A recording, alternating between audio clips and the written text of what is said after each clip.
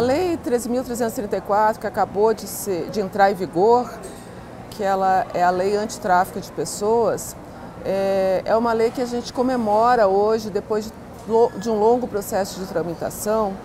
e eu vou te falar por que, que a gente comemora. Porque quando o Brasil aderiu à Convenção de Palermo, que é a Convenção é, do Crime Organizado Internacional, a Convenção da ONU, ela tem um protocolo adicional referente ao tráfico de pessoas. E como a experiência da Europa, a gente já tinha uma, um, vários relatos que a Europa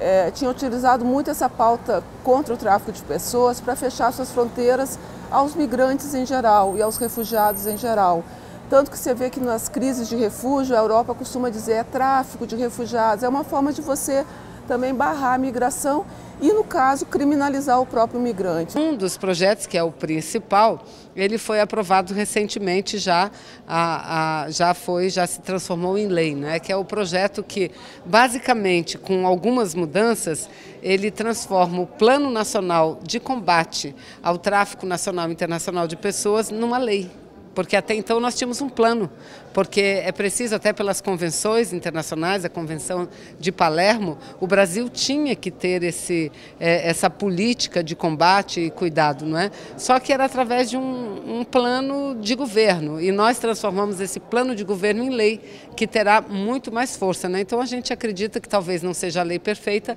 mas é a primeira que a gente tem em relação à matéria. Muito sabiamente, o relator aqui ele não acatou nada que veio da Câmara, ele manteve o projeto original, com uma inclusão da Câmara que é criar o Dia Nacional de Combate ao Tráfico de Pessoas e, e campanhas. Então isso nos deixou todos muito felizes, porque a gente pode dizer que hoje a gente tem uma lei que ela tem uma preocupação com a proteção dos direitos, que ela não criminaliza o migrante, não criminaliza a pessoa que entra numa situação de migração, não criminaliza, isso é muito importante, ela não criminaliza quem ajuda essa pessoa.